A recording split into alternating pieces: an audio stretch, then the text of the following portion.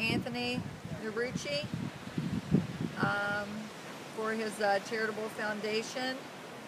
And um, I'd like to call out my ex-husband again because he did not pour the ice bucket over his head. He poured it over Tracy's head.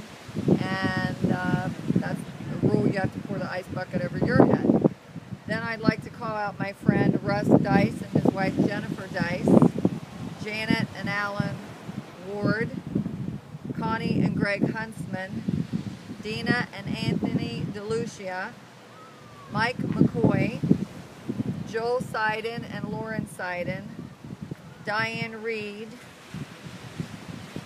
Kathleen and Phil Wyatt, and I would like to call out Todd and Julie Mullins of Christ Fellowship, Donna Linton, and um, I guess that'll do for starting. Oh, Jolene DeLong, calling her out. Hey, Jolene. okay, um, I got on my bathing suit here, so Drum roll. da da da da da da da.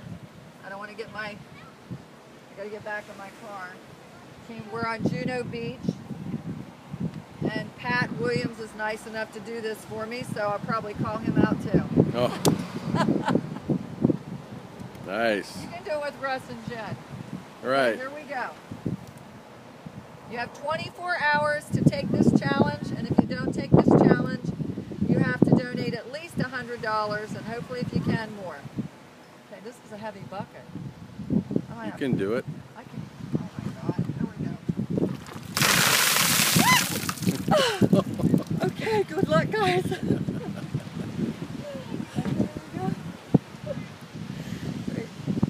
That's good.